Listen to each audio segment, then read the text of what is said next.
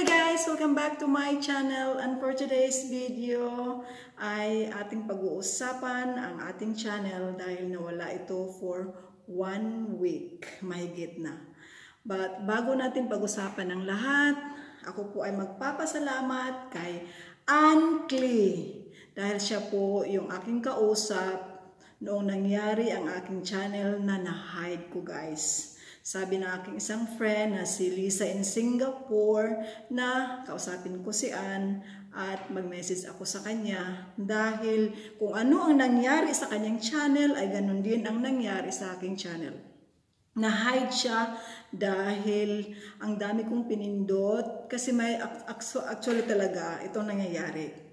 May isang YouTuber na na sinundan ko kasi sabi niya maganda daw yung iset yung yung settings mo na ganito para lahat ng videos mo is mag mag-appear sa bawat channel. So sinundan ko nga. Ano sinundan ko guys, ang nangyari is nagkamali ako ng pinindot at yun na nga bigla siyang lum, biglang lumabas yung uh, high channel. Pero iwan ko ba parang may magic talaga na pindutin ko siya. Hindi ko talaga malubos maisip kung bakit ko napindot yung high channel. So yung nangyari na na-hide ko yung channel in one minute guys, everything is gone. Nung na, na, na-search ko na yung channel ko, wala na kahit video, wala na talaga akong mahanap.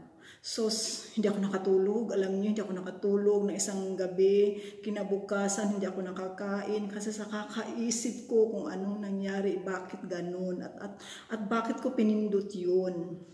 So yun na nga, dahil hindi ako makatulog, hindi ako makakain, so sabi ng friend ko, go, go, go, go, puntahan mo si Clee dahil siya ang makakatulong sa iyo dahil ang nangyari sa iyo ay ganon din ang nangyayari sa kanya. So, nung nakausap ko na siya guys, medyo gumana ang aking pakiramdam, although meron pa akong mga worried dahil hindi ko alam kung babalik ba talaga ang aking channel. So yes, bumalik. Shortcut tayo, bumalik siya after one week bumalik, nandyan na ang mga videos, okay na, pero susad dahil nawala yung aking ads. Bakit siya nawala? Nawala dahil noong binasa na ni Google, ang aking Google Ads, ah, hindi Google AdSense, YouTube creator, zero subscriber ako. Bakit na zero subscriber ako? Dahil before na hide ko yung aking channel is talagang na-hide ng aking subscribers before. So, hinahide ko siya dahil ayaw ko nga makita ng aking mga friends na ganito na siya, medyo dumadami na siya ng konti. Pero, ayaw ko namang makita talaga dahil kaya nga, di ba, yung iba naka-hide. So, ako naman is gumaya lang. Pero nasama doon sa hide ang aking ang aking uh, subscriber kaya zero aka zero talaga ako as in zero. So nung nakita niya na zero ako, sabi niya, i-comply mo 'yon, kailangan maka-reach daw ako ng 1,000 subscriber bago ako ma-monetize. 'Yun ang nangyari na wala na ako ng ads kaya it's so sad. So sabi ko it's all right naman kasi wala naman tayong magagawa. Kasi yun na nga minsan mga pag mga pagkakamali natin, may tama natin sa ating mga lesson learned. So, ang nangyaring yon kaya thank you, special shout out kay Ann Clay. Kung gusto niyo yung puntahan ang kanyang um, YouTube, puntahan niyo na lang kung may mga problema kayo kasi siya talaga ang nagtulong sa akin kausapin ko yung YouTube creator. Kung may problema din kayo guys, diretso lang kayo kay YouTube creator. Nandoon yung help. So, mag-message lang kayo sa kanila, gusto niyo i-chat, i-chat niyo lang sila. Kaya ayun, kausap ko yung, yung mga staff sa YouTube na ito ang gagawin ko, kaya nag-follow talaga ako guys sa kanilang mga instruction. So yun nga, naging okay na siya after one week. Pero dahil ang sabi sa akin ng YouTube na after one month, mag-reapply ako. So hoping na after one month, na na eh, anyway, mayroon pa naman akong subscribers. Sa mga umalis pala, pwede na kayong bumalik. At pasensya na kayo guys, excuse me, kung hindi pa ako nakabalik sa inyo kasi bago lang na naibalik yung aking channel na maglalabas na talaga aking name. So, okay na siya ngayon. So, pwede na akong mag-comments kasi dati talaga guys, hindi ako makakomments hindi talaga hindi ako, hindi wala akong mukha, hindi makikita lahat, as in black ako lahat. So mga ilang araw akong nanahimik dahil mga ilang weeks na rin talaga akong hindi nag nag uh, naging active. Kasi busy din ako dahil December ngayon, so ang dami kong ginagawa. Plus, nadagdagan pa sa problema ko dahil na, na, na-hide ko siya. Instead na nanahimik lang muna ako, na-hide ko pa talaga.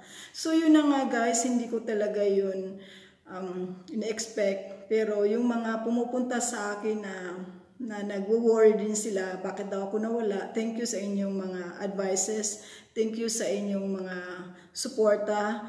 Pasensya na kayo. Nakabalik naman ako sa inyo sa ibang paraan, sa isang channel ng aking pamangkin.